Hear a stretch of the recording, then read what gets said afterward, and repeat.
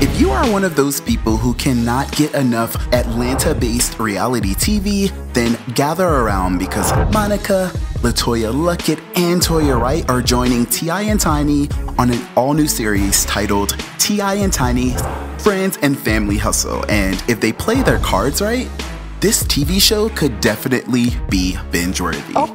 It's Justin Diego, and I am back with another binge worthy video. And today, let's talk about this all new TV show on VH1 that is giving me like Real Housewives of Atlanta vibes with a couple of extra servings of that love and hip hop ratchetness that we know and love. But if you've subscribed and you've turned on these bell notifications like I've been begging you to do for months, you might have noticed that there is something different about this video.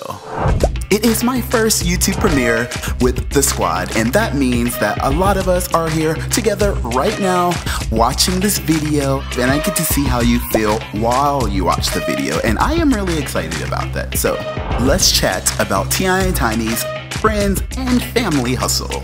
Okay, I have to be honest, and I'm going to definitely be giving you guys my honest thoughts because I didn't really watch T.I. and Tiny's Family Hustle before because I was like too late to the game, and quite frankly, I don't really have kids and all that stuff, so I'm not really into those little family shows necessarily. But I know that there are a lot of people who are, and you know, this show is actually going to be different. For the cast, we have Toya Wright, we have her daughter, Reginae Carter, we have Monica Brown for like the first time on a reality TV, to my knowledge.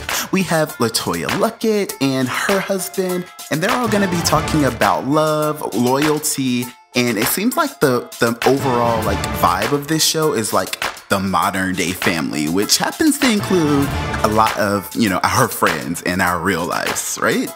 I think that this is like a really cool idea, and I definitely can understand why VH1 liked the concept.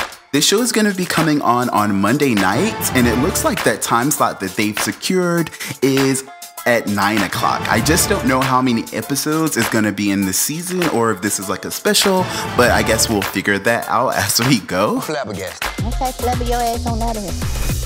The thing is, I'm not necessarily saying like automatically that this is a show that we are definitely going to be deeming binge worthy, but you know, I do want to point out what I think are some of the reasons to watch.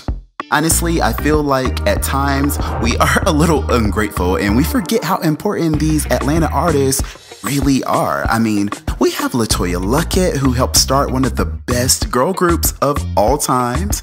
And Tiny is actually really important because she helped pave the way for girl groups, you know, her being in Xscape with Kandi. And we've got Monica, who, if I may say so myself, has the honor of calling Whitney Houston her own personal mentor. Or, you know, she was her personal mentor. Rest in peace. And T.I. is like legendary in these streets. And then we've got Toya and um, Lil Wayne's daughter, Reginae. What have they inspired you to do besides call your dad? And then like LeToya Luckett, you know, I am BeyHive, so y'all already know, you know, I'm I'm looking at her and you know, I got my guard up because we already know how things went in the past. But I didn't realize that LeToya Luckett used to date T.I. And I wonder how many of you guys didn't know either. Comment right now and, you know, super chat if you got uh, like some messy deets that you want to share, you know, about, you know, any tea that I can look forward to because I really like got excited about any potential tea and then I like calmed down just as fast because I realized like I don't know this girl at all. I have to be honest about episode one.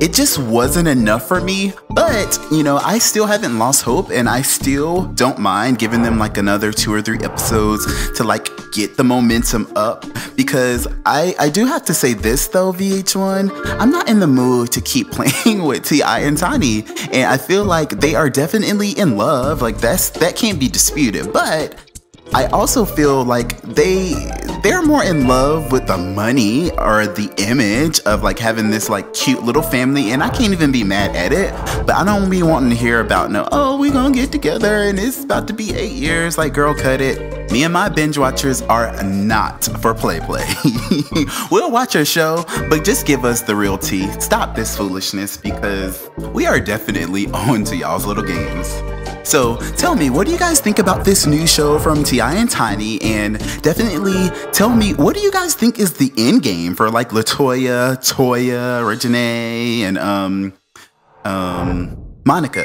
Tell me, what do you think is the end game for like all of these people randomly getting together, you know, to film this type of show?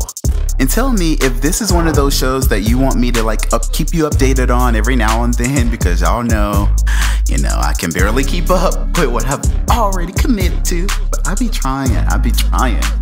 Thanks again, guys, for watching this video, and thank you for all of you guys who chatted with me live, and especially those of you who sent over a cute little super chat.